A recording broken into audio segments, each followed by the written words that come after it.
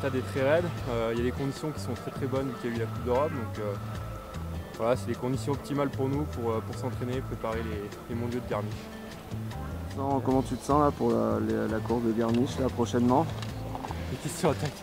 Non, je, euh, je me sens bien, je reste sur, sur deux victoires en au Coupe du Monde. Donc, euh, donc voilà, les, les choses sont bien en place, mon ski est bien revenu. Euh, L'objectif premier là, c'est déjà de bien se préparer, de, de bien rester centré sur, euh, sur mon truc.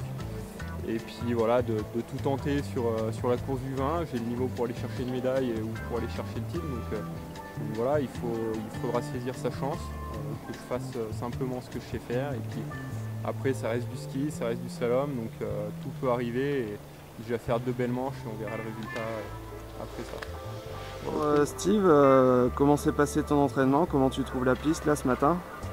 Ah bah la piste elle est, elle est très bien, on la connaît par rapport aux courses qui se déroulent euh, entre Noël et Jour de l'An ici, donc euh, piste euh, assez raide, enfin pas beaucoup de plats, donc idéal pour préparer Garmisch et, une bonne préparation de neige malgré le- les températures, donc c'est tout ce qu'il faut pour, pour bien se préparer.